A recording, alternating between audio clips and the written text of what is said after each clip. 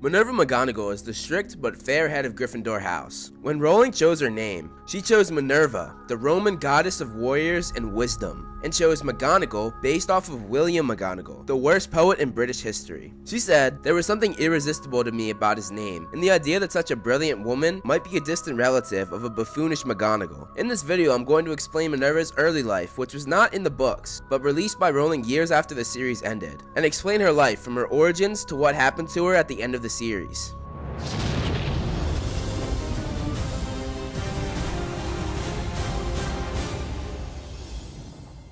Let's start with Minerva's heritage, starting with their parents. Robert McGonagall lived in the same village as Isabel Ross. They became close, and every year, Robert thought that Isabel would go to a secret woman's boarding school, when in fact, she was really going to Hogwarts School of Witchcraft and Wizardry. Isabel kept her relationship with the Muggle a secret from her witch and wizard parents who would not approve. By the time Isabel graduated from Hogwarts and had turned 18, she was in love with Robert, and the two ran away and got married to the fury of both sets of parents. Isabel still hadn't told Robert about her magic magical abilities and who she really was. They moved into the house Robert got for being a minister, and Isabel was quite good at making the most of Robert's tiny salary. Minerva was born shortly after they moved in. Isabel insisted on naming their daughter Minerva, after her own grandmother, and the name raised some eyebrows in the muggle community that they lived in. After Minerva's birth, Isabel missed her family and the magical community that she had given up to be with Robert. She also began to get moody and started secluding herself and Minerva for days at a time. At a young age, Minerva began to show off her magical abilities. She would make toys go from the top shelf to her cot. The family cat appeared to do her bidding before Minerva was even able to talk, and sometimes Robert's bagpipes would play themselves in the other room. Isabel knew that she had to confess to Robert about who she really was, before he witnessed something that would scare or confuse him. When she finally confessed, she broke into tears, took out her wand, and showed him what she was. After she told him, Robert still loved his wife, but he was upset that she had kept such a big secret from him. And what was more, Robert, a man who prided himself on being an upright and honest man, had trouble lying to uphold the statute of secrecy that the Ministry of Magic enforced to keep wizards and witches a secret from muggles. As Minerva grew up, she saw her parents struggle with their relationship, which saddened her. Minerva would eventually have two younger brothers, Malcolm and Robert Jr., and both revealed magical powers at a young age as well. She helped her mother explain to her younger brothers that they must conceal their magical abilities, and she helped conceal the accidents and embarrassments their magic sometimes caused from their father. Minerva was very close with her father, and she shared more qualities with him than she did with her mother. She saw how much her father struggled with their family's secretive and strange life, and she saw how hard it was on her mother to fit into the muggle world, and how much she missed being around her own kind. When Minerva got her letter to Hogwarts, her mother sobbed not only out of pride, but out of envy that she could go into the wizarding world and be free of hiding who she was. When she arrived at Hogwarts and the sorting hat was placed on her head, there was a hat stall, meaning the hat spent five and a half minutes deciding between Gryffindor and Ravenclaw before she became a Gryffindor. Minerva was the most outstanding student of her year, with a particular talent in transfiguration, under the then professor of the subject, Albus Dumbledore. Minerva met a Hufflepuff girl named Pomona Sprout, and the two had an excellent relationship both at school and later in life. Minerva was made a prefect in her fifth year and head girl in her seventh. She got top grades and was the winner of the Transfiguration Today Most Promising Newcomer Award. She was also quite gifted at Quidditch and was captain of the Gryffindor team. In her final year, however, a nasty fall because of a foul from a Slytherin player left her with a concussion, several broken ribs, and a lifelong desire to see Slytherin be crushed on the Quidditch pitch. At the very end of her education, with the help of her favorite professor, Albus Dumbledore, she became an animagus, meaning that she could turn from a human to a cat at will, something that is very difficult to accomplish. After she graduated, Minerva was offered a position at the Ministry of Magic in the Department of Magical Law Enforcement. She returned home to her family for one last summer before she moved to London to start her ministry career. During that summer, Minerva followed in her mother's footsteps and met a muggle boy named Dougal McGregor. She fell head over heels for him, and it was the first and only time in Minerva's life that she might have lost her head. At the end of the summer, Dougal proposed to her, and she accepted immediately. That night, she went home and started thinking about her future with Dougal, and she started to realize that her marriage would be a struggle, just like her parents' relationship was. She knew it would be the end of all of her ambitions. It would mean hiding who she really was, and she would have children that were taught to lie, the way she and her brothers were. If she told them what she was, it would break the statute of secrecy, meaning she could never work for the Ministry of Magic. The next morning, she went to tell Dougal that she had changed her mind, and that she couldn't marry him. She left him devastated and heartbroken, and she felt the exact same way, but she knew that she couldn't didn't show it. She set out for London three days later to start her ministry career. When Minerva went to start her life in London, she was unhappy and didn't enjoy her home or workplace. Although she did really like her boss, Elphinstone Urquhart. Many of her other co-workers, however, were very anti-Muggle, which of course did not sit well with Minerva, seeing as she adored her Muggle father and continued to love the Muggle boy Dougal. Minerva was very good at her job, and after two years, she was offered a prestigious promotion, but she declined the offer. She then sent an owl to Hogwarts, asking whether she might be considered for a teaching post. The owl returned within hours, offering her a job in the Transfiguration department from the head of the department himself and her favorite professor, Albus Dumbledore. Minerva was greeted with delight when she returned to Hogwarts. She threw herself into her work and became a strict but inspirational teacher. While she was there, Dumbledore took on the post of headmaster to replace Professor Dippet. Minerva kept pictures of her family in a locked box under her bed, which included pictures of Dougal. While at Hogwarts, she heard from her mother that Dougal had married someone else, and even though she knew this day would come, Minerva was still heartbroken. Albus Dumbledore discovered her in tears in her classroom late one evening, and she told him the entire story. Dumbledore comforted her and shared his wisdom, and told Minerva some of his family history. He divulged how his sister had died, and how he might have been the one to blame for it. After that night, after the two intensely private and reserved people had shared extremely deep and personal insecurities, heartbreaks, and loss, they formed a strong relationship of lasting mutual esteem and friendship. Minerva continued to teach at Hogwarts, and was eventually made the head of Gryffindor House. She remained on good terms with her boss from her old ministry job, Elphinstone Urquhart. One day he was in Scotland, and he came to visit her at Hogwarts, and he confessed his love to her, and he proposed to her. Minerva still being in love with Dougal turned him down. Even after that, however, Elphinstone continued to love her, and made it very obvious, and even proposed every so often, despite her turning him down over and over again. During the First Wizarding War, although she was extremely loyal to Dumbledore and believed in what the Order of the Phoenix was doing, she did not join the Order. She did, however, play a big part in helping Dumbledore and the Resistance. She spent many nights spying for the Ministry in her Animagus form, and brought Aurors, or Dark Wizard Catchers, crucial information on the activities of Voldemort and his followers. Minerva's youngest brother, Robert, died during the First Wizarding War, when he was killed by Death Eaters. Minerva was heartbroken to hear this news. And to top that off, she also got news from her mother that Dougal had died in a random anti-muggle attack by Death Eaters, along with his wife and children. Although Dougal's death was very traumatic for her, she seemed to finally be free. In the early 80s, around the time of Voldemort's first defeat, Elphinstone proposed to Minerva again, and this time Minerva accepted. Around that same time, Minerva went on a mission of her own to scout out the family that Dumbledore had told her that they were taking Harry Potter, the baby boy responsible for Voldemort's downfall. She watched them in her animagus form and realized that they were awful people. Do you really think it's safe? Leaving him with these people. I've watched them all day. They're the worst sort of muggles imaginable. She, along with Dumbledore and Rubeus Hagrid, left Harry at the doorstep of his aunt and uncle's house. This boy will be famous. There won't be a child in our world who doesn't know his name. Exactly.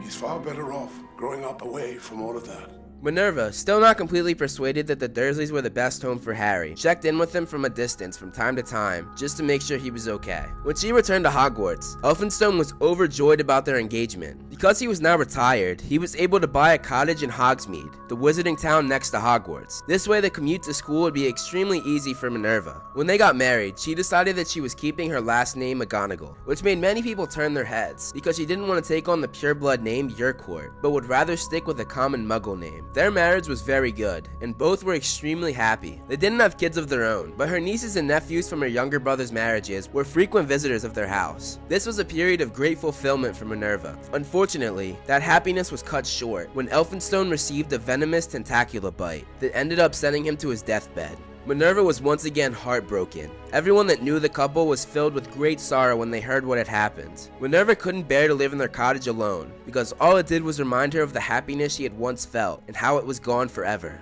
She packed up her things after the funeral and returned to her bedroom in Hogwarts Castle. Once again, Minerva threw herself into her work, and few people ever realized how much she suffered after everything that she had lost, except perhaps her close friend Albus Dumbledore. She continued to teach at Hogwarts, and in 1991, Dumbledore devised a plan to bring the Philosopher's Stone to the castle to ensure its safety. She helped in guarding it by creating a giant chessboard in which she transfigured the giant pieces. This was the same year that Harry Potter, the boy she had been watching for many years, came to school, and he was sorted into her house, Gryffindor. Still wanting to see Slytherin crushed on the pitch, Minerva recruited Harry to the Gryffindor Quidditch team. I have found you a seeker. She ended up breaking some rules to get Harry the new Nimbus 2000, the fastest and best broomstick at the time. Even though she took a particular liking to Harry, it did not stop her from continuing her strict teaching methods, and she put him in detention for being out of bed at night. She also took 150 points away from Gryffindor, ensuring that her own house was in last place for the House Cup, something that they had not won in years. In the end, they ended up winning the House Cup thanks to Harry and his friends, which overjoyed Minerva. The following year, the Chamber of Secrets was opened, and Dumbledore was sacked, making Minerva become the temporary headmistress. When a student named Ginny Weasley was brought down to the chamber, Minerva had no choice but to close the school. I'm afraid this is the end of Hogwarts. Fortunately, Harry and Ron were able to find the chamber and put an end to the culprit behind the attacks. Dumbledore came back, and she went back to her duties of being just a transfiguration teacher. The following year, Minerva gave Hermione Granger a time turner so that she could attend more classes during the week and made her promise that she wouldn't abuse it or tell anybody about it. Later that same year, Harry asked Minerva if she could take the place of Harry's parents and signed his consent form so he could go into Hogsmeade, and she was very sorry to say that she couldn't. But Professor, I thought if you signed it, then I could go. I can't. Only a parent or a guardian can sign. Since I am neither, it would be inappropriate. I'm sorry, Potter.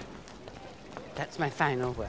The broomstick that Minerva had gotten Harry was destroyed by the Whomping Willow, and Harry received a Firebolt broomstick, the newest and faster broom that was even better than the Nimbus 2000. The broom came with no note, and Minerva, who was tipped off by Hermione, was suspicious that it could be from Sirius Black, who had just escaped from Azkaban, and was using the broomstick to either hurt or kill Harry. She and some other professors examined it closely, and they all realized it was perfectly okay to use. Harry used the Firebolt to finally win the Quidditch Cup for the first time in many years, which was a great delight for Minerva to finally see Gryffindor receive the cup over Slytherin. When they won, she was seen sobbing into and wiping her eyes with an enormous Gryffindor flag. The following year, when Harry was forced to participate in the Triwizard Tournament, Minerva protested with Dumbledore, who said Harry had to compete. Do nothing. Offer him up as bait. Potter is a boy, not a piece of meat. At the end of the term, Voldemort had returned to a full body, and the Second Wizarding War started. Dumbledore relaunched the Order of the Phoenix, and Minerva was one of the first people to join. The following term, Dolores Umbridge was appointed as the new Defense Against the Dark Arts teacher, and she was under the command of Minister for Magic, Cornelius Fudge, who had turned on and didn't believe Harry and Dumbledore that Voldemort had returned. Minerva and Umbridge butted heads, and Minerva did not try to hide her disgust with Umbridge. So silly of me, but it sounds as if you're questioning my authority in my own classroom. Minerva. Not at all, Dolores. Merely your medieval methods. Later in the term, Umbridge was made High Inquisitor, and one of her tasks was to observe classes. While Umbridge was watching Minerva's class, Minerva snapped. I wonder how you expect to gain an idea of my usual teaching methods if you continue to interrupt me. You see, I do not generally permit people to talk while I'm talking. Umbridge discovered a club called Dumbledore's Army run by Harry, and Dumbledore took credit for starting the club. Fudge, thinking that the army that Dumbledore formed was to fight him in the Ministry, ordered Dumbledore's arrest and tried to take him by force. Minerva, who is loyal to her close friend, drew her wand and said he wasn't taking them on single-handed, and she was prepared to duel several Aurors. But Dumbledore ordered her to stand down and said that Hogwarts would need her when he was gone. Umbridge was appointed headmistress over Minerva to her fury. Later that year, Umbridge and several Aurors tried to forcibly remove Hagrid from the grounds, and he took them on single-handed. Minerva came running out to help him, and told them to leave him alone. Before she could even draw her wand, she was hit with four stunning spells at once in the chest. This badly injured her, and she was sent to St. Mungo's, the wizarding hospital, to receive treatment. Minerva's longtime friend and colleague, Professor Sprout, said that had the students not been at risk, she would have resigned in protest of this cowardly act. Minerva did not return to Hogwarts until the end of term, and even when she did return, she was still not at full strength. She was, however, very happy to see Umbridge sacked after that term. The following year, Dumbledore was killed when Death Eaters entered the school, and she participated in the Battle of the Astronomy Tower, where she fought the Death Eaters off. She dueled Alecto Carrow, and she easily overpowered her, sending her running for cover. After the battle, she was devastated to hear about Dumbledore's death, the man who she had known nearly her entire life, as a teacher, mentor, and friend. She held his funeral at Hogwarts, and she took on the position of headmistress. However, she was replaced by Snape as headmaster at the start of the following term. Snape also had the Carrow siblings, two of Voldemort's Death Eaters at his side, and Minerva did all she could to protect the students. She aided Dumbledore's army, and helped them have meetings in secret. At the end of term, Harry, Ron, and Hermione returned to Hogwarts, and Harry went to Ravenclaw Tower looking for a clue to find the lost diadem of Ravenclaw. The Carrows, along with McGonagall, came to the tower. The Carrow sister was already unconscious when Minerva and the Carrow brother walked in. Harry was there under his invisibility cloak. The Carrow brother told Minerva that Voldemort had warned them that Harry might come to Ravenclaw Tower. Why would Potter try to get inside Ravenclaw Tower? Potter belongs in my house. Beneath the disbelief and anger, Harry heard a little strain of pride in her voice. An affection for Minerva McGonagall gushed up inside him. The Carrow brother then tried to call Voldemort, but Minerva refused to allow it, and he spit in Minerva's face. Harry then revealed himself. You shouldn't have done that. And he shot a spell at the Carrow brother that made him go flying. Minerva told Harry to flee as quickly as he could, but Harry told her that he couldn't and that he was on Dumbledore's orders. This completely changed Minerva's thought process. You're on Dumbledore's orders? She drew herself up to her fullest height. We shall secure the school against he who must not be named, while you search for this, this object. Potter. It's good to see you. It's good to see you too, Professor. Minerva, Professor Sprout, and Professor Flitwick worked together to drive Snape out of the castle. Minerva got all of the underage students out of the castle, and said that any students that were of age were allowed to fight if they wanted to. She then, to her best ability, protected the school and tried to give Harry as much time as she could while he tried to find the diadem. Hogwarts is threatened. Man the boundaries. Protect us. Do your duty to our school. Minerva fought skillfully during the battle and was a leading presence in the fight. At the end of the battle, she along with Horace Slughorn and Kingsley Shacklebolt dueled with Voldemort. Harry then stepped forward and defeated Voldemort, ending both the battle and the war. After the fight, Minerva was awarded Order of Merlin First Class for her unwavering allegiance to the Order of the Phoenix. And shortly after that, she was featured on a card in the Chocolate Frog Famous Witches and Wizards series, something she admitted that she had never imagined receiving. Minerva returned to her position of headmistress and remained there for many years. She hired her former student Neville Longbottom, a student that she had always believed in, as the new professor of herbology. Minerva faced so much loss and tragedy in her life, but she pushed through that tragedy and turned it into something incredible. Even though very few people were there for her when things got tough, she was always ready to step up when she was needed, whether that be for her students, her friends, or the entire wizarding world. You can always count on Minerva McGonagall to be there.